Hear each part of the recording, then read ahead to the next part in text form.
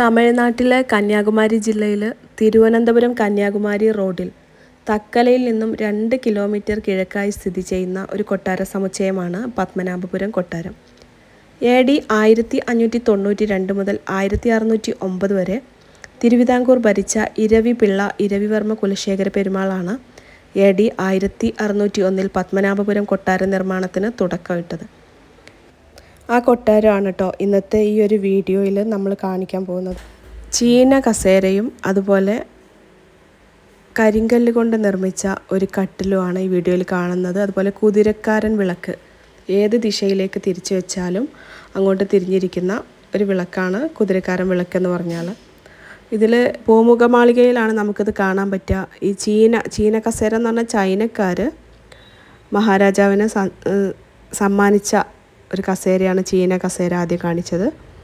പിന്നെ കാണിച്ച കട്ടിൽ കരിങ്കൽ കട്ടിൽ കരിങ്കൽ കട്ടിൽ പറഞ്ഞാൽ ഏഴ് കഷ്ണം കരിങ്കൽ കൊണ്ട് നിർമ്മിച്ചതാണെന്നാണ് പറയുന്നത്. അതുപോലെ തന്നെ കുതിരക്കാരൻ വിളക്ക്. ഇത് മൂന്നും നമുക്ക് പൂമുഖമാളികയിലാണ് കാണാൻ പറ്റുക. അങ്ങോട്ട് പ്രവേശിക്കുന്ന സമയത്ത് തന്നെ നമുക്കത് കാണാൻ പറ്റും. ഒരു ത്രികോണാകൃതിയിലുള്ള കവാടാണ് ഈ പൂമുഖമാളികയ്ക്കുള്ളത്. ഓരോ ബിൽഡിങ്സും ഓരോ പേരിലാട്ടോ അറിയപ്പെടുന്നത്. പത്മനാഭപുരം പാലസിൽ ആയിരത്തി എഴുന്നൂറ്റി നാൽപ്പത്തി ഒന്നിൽ കുളച്ചൽ യുദ്ധത്തിന് ശേഷമാണ് മാർത്താണ്ഡവർമ്മ രാജാവ് ഇന്ന് കാണുന്ന രീതിയിൽ കൊട്ടാരം പുതുക്കി പണിതത്.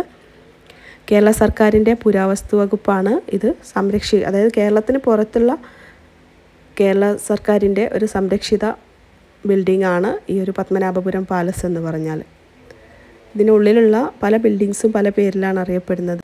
നടമാളിക പൂമുഖമാളിക പ്ലാമൂട്ടിൽ ചാവടി വേപ്പിൻമൂട് കൊട്ടാരം തായ് കൊട്ടാരം വലിയ ഊട്ടുപുര ഇങ്ങനെ പല പേരിലുമാണ് ഹോമപുര.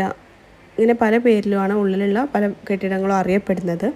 ഇതിൽ തായ് കൊട്ടാരം എന്ന് പറഞ്ഞാൽ ഏറ്റവും പഴയ കൊട്ടാരമാണ് കേട്ടോ തായ് കൊട്ടാരം. അതുപോലെ മന്ത്രശാല എന്ന് പറഞ്ഞ ബിൽഡിങ് രാജ്യഭരണം മന്ത്രം എന്ന് പറഞ്ഞാൽ രാജ്യഭരണമാണ് ഉദ്ദേശിക്കുന്നത്. ഭരണപരമായ തീരുമാനങ്ങൾ രാജാവും മറ്റുദ്യോഗസ്ഥന്മാരും എടുത്തിരുന്ന സ്ഥലമാണ്. പിന്നെ മണിമാളികയുണ്ട്. മണിമാളികയിലെ ഏറ്റവും വലിയ പ്രത്യേകത എന്ന് പറഞ്ഞാൽ മൂന്ന് കിലോമീറ്റർ ചുറ്റളവിൽ വരെ കേൾക്കാവുന്ന ഒരു നാഴികമണി. ശബ്ദം കേൾക്കുന്ന രീതിയിൽ സമയം അറിയിക്കുന്ന രീതിയിലുള്ള ഒരു നാഴികമണി അവിടെയുണ്ട്. അതുപോലെ നാടകശാല. നാടകശാല എന്ന് പറഞ്ഞാൽ അവിടെ പ്രത്യേകിച്ച് പൂമുഖ മാളികയിലുള്ള പോലെ ചിത്രപ്പണികളോ ശില്പങ്ങളോ ഒന്നും അവിടെ ഉണ്ടായിരുന്നില്ല. അപ്പോൾ ഇത്രയും നല്ല കേരളത്തിലെ തന്നെ ഏറ്റവും നല്ല ഒരു കൊട്ടാരം എന്ന് പറയാവുന്ന രീതിയിൽ അവിടെ നമുക്ക് തന്നെ ഒരു കൊട്ടാരത്തിനുള്ളിലെ എല്ലാ കാര്യങ്ങളും കാണുന്ന രീതിയിലുള്ള ആർട്ട് ആൻഡ് ആർക്കിടെക്ചർ കാണിച്ചു തരുന്ന ഒരു കൊട്ടാരമാണ് പത്മനാഭപുരം പാലസ് എന്ന് പറഞ്ഞാൽ തമിഴ്നാട്ടിലാണെങ്കിലും കേരള സർക്കാരിന്റെ പുരാവസ്തു വകുപ്പാണ് ഇത് നോക്കി നടത്തുന്നത്. ഇതിനടുത്തു കൂടെ പാസ് ചെയ്യുന്ന ഒരു നദിയാണ് തമിഴ്നാട്ടിലെ വല്ലി നദി എന്ന് പറഞ്ഞാൽ ഈ കൊട്ടാരം കൂടാതെ കുറ്റാലം കൊട്ടാരവും കേരളത്തിന്റെ കൈവശമാണ് കേട്ടോ. തെങ്കാശിക്ക് അടുത്തുള്ള തിരുനെൽവേലി ജില്ലയിലെ.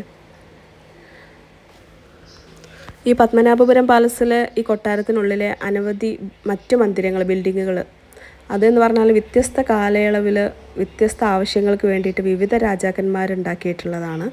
അല്ലാതെ ഒരു രാജാവിനാൽ മുഴുവനാക്കപ്പെട്ടിട്ടുള്ള ബിൽഡിങ്സ് അല്ല മുഴുവനും. അതുപോലെ അതിനുള്ളിൽ തന്നെ ഒറ്റപ്പെട്ട മന്ദിരങ്ങളുണ്ട്.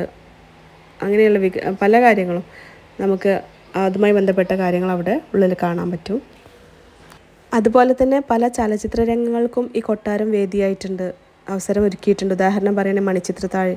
അതിൽ ആ ചിത്രത്തിന്റെ അവസാന ക്ലൈമാക്സിൽ ശോഭന അവതരിപ്പിക്കുന്ന ആ പ്രശസ്തമായ നൃത്തത്തിന്റെ ഛായാഗ്രഹണം ഇവിടെയാണ് നിർവഹിച്ചിട്ടുള്ളത്. നമ്മൾ വിസിറ്റ് ചെയ്യേണ്ട ഒരു സ്ഥലമാണ്. ഏറ്റവും നല്ലൊരു എക്സ്പീരിയൻസ് ആയിരുന്നു ഈ കൊട്ടാരം വിസിറ്റ് ചെയ്തത്.